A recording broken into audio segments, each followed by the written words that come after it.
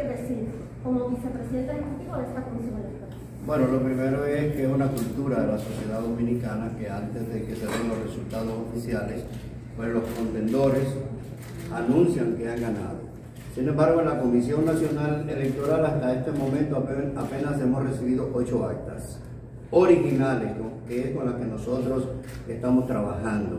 Estamos hablando apenas del 3, 3.5% de actas, que para la Comisión Electoral no es un número representativo como para poder emitir un boletín que pueda marcar tendencias sobre los resultados electorales de la Asociación Dominicana de Profesores.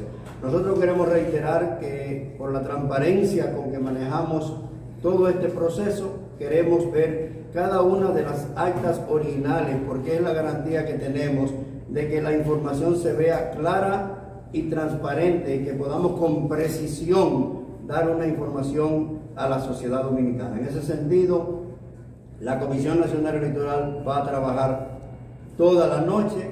Eh, no creo que sea posible por el día de hoy emitir el primer boletín, porque hay compañeros que vienen de muy lejos, como ustedes saben, que es de todo el país, pero que también hay seccionales muy grandes en, en parte del territorio nacional que están contando y están sumando los votos de los distintos colegios electorales.